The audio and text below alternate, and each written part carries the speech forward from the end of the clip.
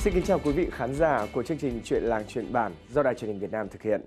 Thưa quý vị và các bạn, trong bối cảnh ngày càng có nhiều những sinh hoạt văn hóa của đồng bào các dân tộc bị mai một lãng quên thì đâu đó ở những bản làng vùng sâu vùng xa vẫn còn có những con người sống chết với văn hóa của dân tộc mình. Bằng tấm lòng yêu nghề, sự say mê sáng tạo, nhiều nghệ nhân dân gian, già làng trưởng bản, người có uy tín vẫn hàng ngày miệt mài truyền dạy chữ viết, các làn điệu dân ca hay theo thổ cầm cho thế hệ trẻ. Họ là những người tiên phong tuyên truyền để bà con bảo tồn bản sắc văn hóa dân tộc, xóa bỏ những hủ tục lạc hậu, xây dựng cuộc sống văn minh và tiến bộ. Những việc làm này đã góp phần gìn giữ, phát triển và làm phong phú thêm những nét đẹp văn hóa trong cộng đồng dân tộc mình. Trong chương trình Chuyện làng chuyện bản ngày hôm nay, chúng tôi mời quý vị và các bạn cùng gặp gỡ một vài con người như vậy ở địa bàn tỉnh Quảng Ninh.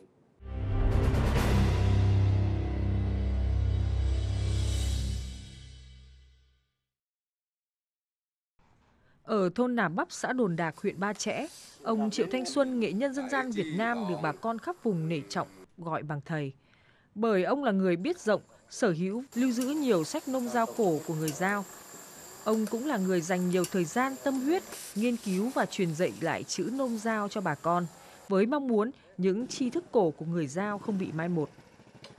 Sinh ra trong một gia đình có truyền thống lâu đời làm thầy mo, ông Triệu Thanh Xuân đã tiếp thu được tinh hoa văn hóa trong việc cúng, khấn, nhảy múa của dân tộc Giao Thanh Phán. Trước đây, ông được một số già làng trưởng bản trực tiếp truyền dạy về những nghi lễ truyền thống, chỉ bảo hướng dẫn các điệu nhảy trong lễ cấp sắc, học làm thầy cúng. Ham học hỏi, say mê với các loại hình văn hóa truyền thống, năm 19 tuổi ông đã làm thầy cúng và đến năm 41 tuổi thì chính thức được làm thầy chính. Tôi làm mò, mò đến bây giờ thì khoảng 40 năm rồi.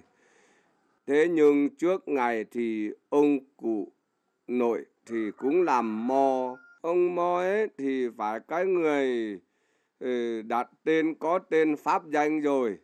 Rồi là phải biết cúng một tí, phải biết chữ, biết xem một tí. Chứ không thì bảo ông mo thôi, không biết cúng, không biết xem ngày ấy thì lại không làm được. Với vốn kiến thức chữ nôm giao đã được học từ trước, ông Xuân tập trung tìm hiểu nghiên cứu sâu về tri thức văn hóa của người Giao qua những trang sách. Nội dung sách cổ sâu sắc nhưng rất rộng, nên ông đã chia nhỏ thành từng phần một để dễ đọc, dễ hiểu và dễ nhớ. Với cách biên soạn của ông, người học chỉ cần đọc thạo chữ nôm là có thể hiểu và làm theo. Vì thế, trong thời gian 1 đến 2 tháng, được ông Xuân trực tiếp giảng dạy, nhiều người có thể đọc thông viết thạo chữ nôm giao. Cách đây khoảng 30 năm về trước, ông Triệu Tắc Lẩu ở thôn Làng Cổng, xã Đồn Đạc là một trong những người đầu tiên theo học ông Xuân. Sau một tháng được ông Xuân truyền dạy, ông Dầu đã biết đọc, biết viết và thờ cúng được Tết theo phong tục của người Giao. Hiện nay, cứ lúc nào rảnh rỗi, ông Dẩu lại đến nhà ông Xuân để tiếp tục học tập nâng cao vốn hiểu biết của mình.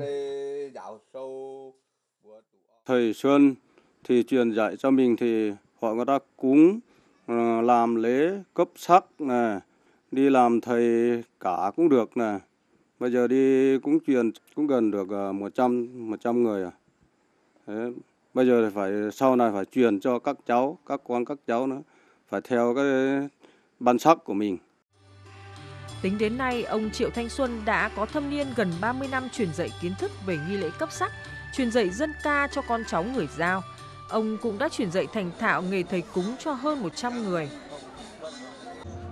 Nhiều lần ông trực tiếp dẫn đoàn tham gia các lễ hội bàn vương của người Giao, tham gia ngày hội văn hóa dân tộc do địa phương tổ chức. Đồng thời, ông cũng là một trong những người có nhiều đóng góp cho việc thành lập và duy trì câu lạc bộ nhảy lửa xã Đồn Đạc. Theo ông Xuân, để tổ chức được nghi lễ này, đòi hỏi người thầy phải cao tay, am hiểu rộng thì mới có thể làm được. Là thầy Mo có uy tín trong cộng đồng, người dân trong vùng có công việc gì cũng gọi ông. Ông đều tâm huyết nhiệt tình, lo chu đáo coi công việc của bà con cũng như việc của nhà mình. Vì vậy, ông luôn được bà con tín nhiệm tin tưởng. Đến với bà con, ông thường xuyên tuyên truyền, vận động bà con chấp hành tốt chủ trương đường lối của Đảng, chính sách pháp luật của nhà nước. Ông bảo, bản sắc của dân tộc thì phải giữ, nhưng những gì đã lạc hậu còn gây tốn kém lãng phí thì nên bỏ. Ông đã vận động bà con trong thôn xóa bỏ các hủ tục lạc hậu, xây dựng cuộc sống tiến bộ văn minh hơn. Đối với ờ, thầy ờ, Triệu Thanh Xuân là nghệ nhân dân gian của Việt Nam. Ờ, đối với thầy thì mọi người ờ, rất có uy tín với lại đồng bào giao ở trên địa bàn xã Hòn Đạn này. Thầy là còn đi là làm ờ, nhảy lửa, tham gia các lễ hội của xã cũng như là của huyện và đặc biệt là của tỉnh. Ngoài ra thầy còn tổ chức các lớp dạy cho truyền nối lại ờ, cho các lớp thế trẻ. Như thầy cũng đã hiện nay là thầy cũng đã được cấp sắc cho được trên hơn trăm hơn trăm người. Đấy là công lao của thầy rất là lớn, rất là uy tín. Nối tiếp truyền thống cha ông, ông Triệu Xuân Hải, người uy tín ở thôn làng Cổng xã Đồn Đạc, là con trai thứ hai của ông Triệu Thanh Xuân đã có hơn 20 năm làm thầy cúng. Cứ vào dịp cuối năm, ông Hải lại bận rộn hơn bởi ông được nhiều bà con mời làm các phong tục thờ cúng. Ngay từ nhỏ, ông đã được cha truyền dạy lại các phong tục thờ cúng nên ông rất am hiểu. Thờ cúng tổ tiên là các hình thức tín ngưỡng bao trùm nhất của người Giao, chi phối đời sống văn hóa tinh thần của họ vào tất cả các dịp lễ Tết trong năm, cũng như các nghi lễ quan trọng trong chu kỳ đời người. Theo ông Hải, việc tham gia giúp bà con thờ cúng cũng là cách để gìn giữ bản sắc văn hóa dân tộc và truyền lại cho con cháu sau này biết được cội nguồn của người Giao. Cúng thì thứ nhất là hứa trả lễ, thứ hai là phải uh, cho các vị thần gia tiên này phù hộ cho con cháu mình được khỏe mạnh, không có bệnh tật, không có ốm đau, rồi là phù hộ cho con em mình chăn nuôi được, à, làm ăn kinh tế được. Cùng với việc tham gia thờ cúng cho cộng đồng, ông Triệu Xuân Hải còn tích cực tham gia vào các nghi lễ thờ cúng nhảy múa trong lễ hội bàn vương của huyện Ba Chẽ, cũng như các lễ hội khác do địa phương tổ chức. Ở Quảng Ninh có nhiều nghệ nhân như thế, họ một đời gắn bó và tâm huyết với văn hóa dân tộc trong mọi hoàn cảnh. Đến thăm bà Trương Thị Quý ở thôn 2 xã Bằng Cả, thành phố Hạ Long, người phụ nữ có nhiều đóng góp trong việc nghệ thuật thêu các làn điệu dân ca truyền thống tại địa phương. Bà Quý có tài ca hát, năm 15 tuổi, bà đã nổi tiếng gần xa là thiếu nữ giao có giọng hát hay. Bà thường theo mẹ, theo các chị trong thôn đi hát trong các dịp lễ cưới, lễ cấp sắc và tham gia các hoạt động văn hóa, văn nghệ do địa phương tổ chức. Bà cho biết thêm, cuộc sống đã có nhiều đổi mới, tuy nhiên bản sắc dân tộc không thể đánh mất. Mình là thế hệ đi trước mà không lưu giữ được thì đời sau khó có thể phát huy. Để bảo tồn văn hóa của người Giao Thanh Y, trong những năm qua, bà Quý đã tiến hành siêu tầm, nghiên cứu, phổ biến, truyền dạy văn hóa dân gian, nhất là các làn điệu dân ca Giao cho con cháu. Được bà truyền dạy thì cháu thấy cái làn điệu của người Giao Thanh Y rất là hay ạ. Và theo bà học hỏi thì à, cháu đã hát được rất nhiều bài hát rồi ạ. Cháu vẫn sẽ theo bà học để à, tiếp tục bảo tồn di sản văn hóa của người Giao Thanh Y ạ dạy hai lớp cũng khoảng 6, 60 người. Các cháu cũng biết, cũng biết hát. Nhưng mà tôi cũng dạy được cả cho người à, đi hát cấp sắc này, hát à, đám cưới.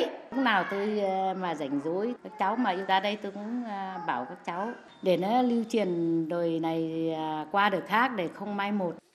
Không chỉ có duyên với các làn điệu dân ca dao, bà Quý còn được nhiều người biết đến là một trong những người may trang phục truyền thống đẹp nhất vùng bà đã tham gia nhiều lớp truyền dạy kỹ thuật thêu may trang phục dân tộc Giao do địa phương tổ chức. Cứ vào dịp cuối tuần hoặc lúc rảnh rỗi, các chị em học sinh, chị em phụ nữ Giao lại tập trung tại khu bảo tồn văn hóa Giao Thanh Y, xã Bằng Cả để học thêu hoa văn trên trang phục truyền thống. Tuy tuổi đã cao, nhưng bà Quý luôn tận tình hướng dẫn con cháu từng đường kim mũi chỉ, từng họa tiết hoa văn.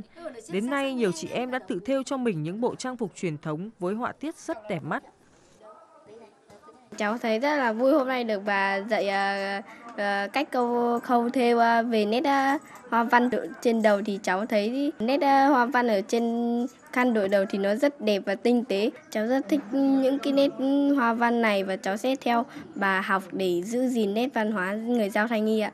Tôi bây giờ cũng đã biết thêu được khăn thôi dùng với lại tôi cũng đã về truyền cho con cho con cháu được nhiều đứa biết làm xong Ờ, làm áo dân tộc ờ, hoa văn rất đẹp rồi chúng tôi muốn bảo tồn bản sắc dân tộc của chúng tôi để sau này vẫn còn phát triển. Theo bà Quý, may theo trang phục truyền thống của người Giao Thanh Y là công việc hàng ngày được người phụ nữ Giao tranh thủ làm ở bất cứ nơi đâu. Toàn bộ các công đoạn từ khâu cắt, may cho đến thêu hoa văn để làm nên một bộ trang phục của người Giao đều được làm tỉ mỉ bằng tay. Do đó, mỗi bộ trang phục truyền thống của người Giao mất khoảng 2 đến 3 tháng mới hoàn thành. Trước ờ, kia thì chị em thì cũng ờ, không không ít người hay thêu.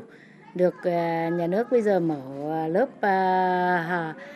thêu khăn này, thêu khăn lại cả dây thắt lưng các kiểu À, trang phục dân tộc đấy thì nhà nước cũng quan tâm mở à, hai lớp 40 người. Thế ai cũng biết theo. bây giờ tôi cũng à, mong nhà nước lại à, quan tâm nhiều hơn nữa.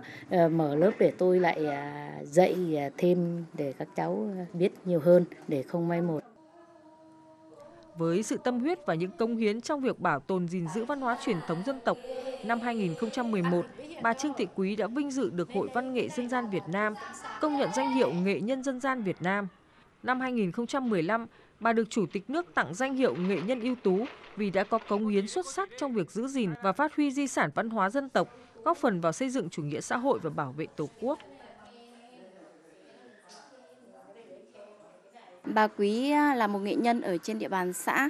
Trong những năm qua bà à, đã tích cực cùng với à, xã truyền dạy những cái làn điệu dân ca dân vũ, đặc biệt là cái làn điệu hát giao duyên, rồi là những cái theo thùa ở trên địa bàn và hàng năm thì trung tâm học tập cộng đồng xã có mở lớp học theo và lớp học hát thì là đều do bà tham gia à, dạy và truyền dạy cho các thế hệ trẻ.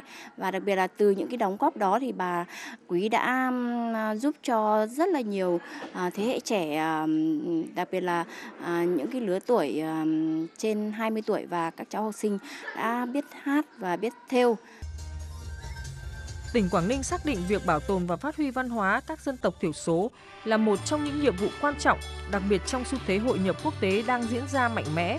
Vì vậy, những đóng góp công sức tâm huyết của các nghệ nhân, già làng trưởng bản, người uy tín không chỉ góp phần giữ gìn, phát triển văn hóa dân tộc mà còn tạo động lực phát triển toàn diện, rút ngắn khoảng cách chênh lệch mức sống giữa vùng dân tộc thiểu số với các vùng miền khác trong tỉnh. Qua đó giúp cộng đồng người Giao càng tự hào hơn và quyết tâm gìn giữ phát huy bản sắc dân tộc mình, góp phần tô điểm thêm cho bức tranh văn hóa các dân tộc thiểu số của tỉnh Quảng Ninh.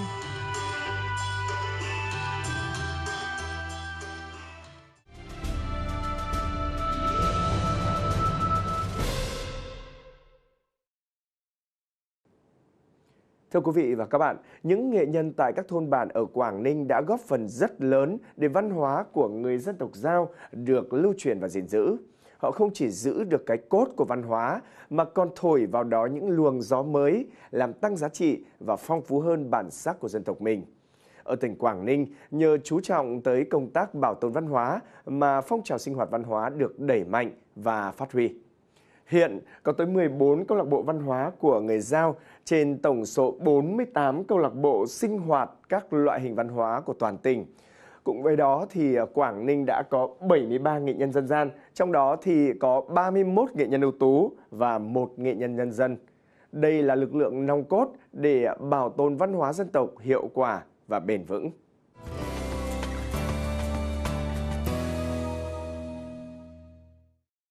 Thưa quý vị và các bạn, những nét văn hóa đặc trưng của người Giao ở Quảng Ninh còn được lưu giữ lâu dài khi có ngày càng nhiều những nghệ nhân sự quan tâm của chính quyền và sự ủng hộ của người dân trong công tác bảo tồn văn hóa sẽ là cơ sở để văn hóa dân tộc bảo lưu và phát triển mạnh mẽ hơn.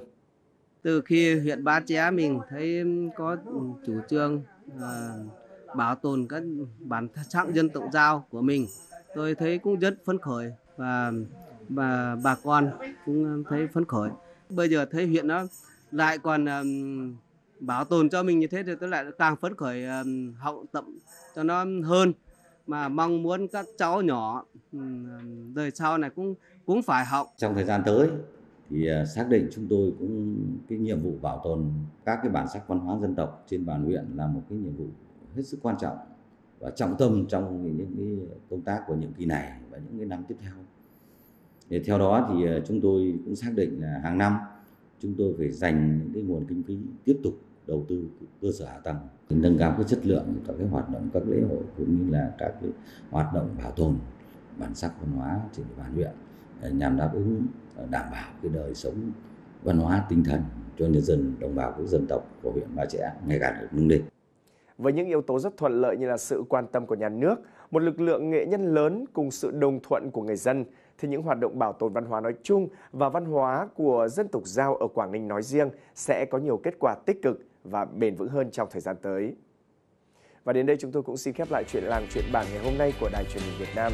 Cảm ơn quý vị khán giả đã dành thời gian theo dõi. Xin chào và hẹn gặp lại.